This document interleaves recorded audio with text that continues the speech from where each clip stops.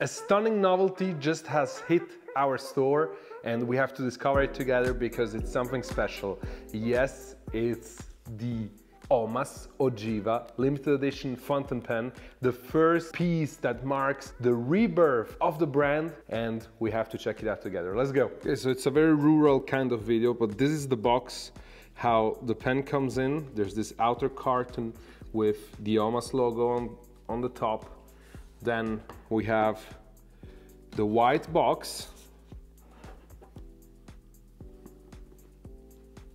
Let's open it up.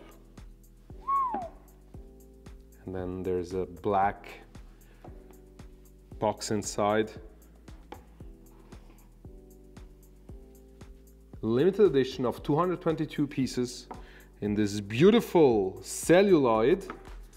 Just look at it. What a piece. Beautiful, beautiful clip, beautiful ring engraving, quite deep, almost Italy. The limitation is here on the barrel.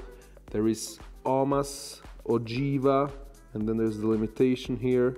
And let's discover the nib. Look at this. How beautiful.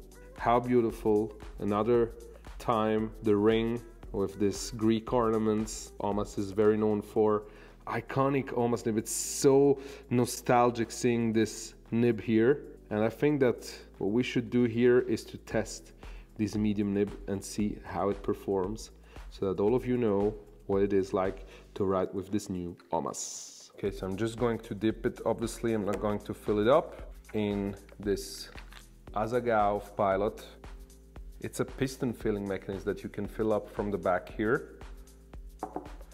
As I told you, 222 pieces. Wow. Wow. Very good. Super smooth.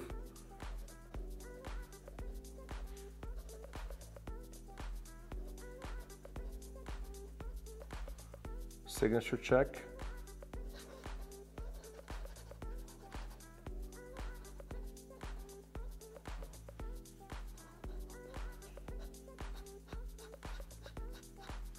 Super, super, super nib. Great experience. I can only suggest it. Well done, Omas. It's great to have you back.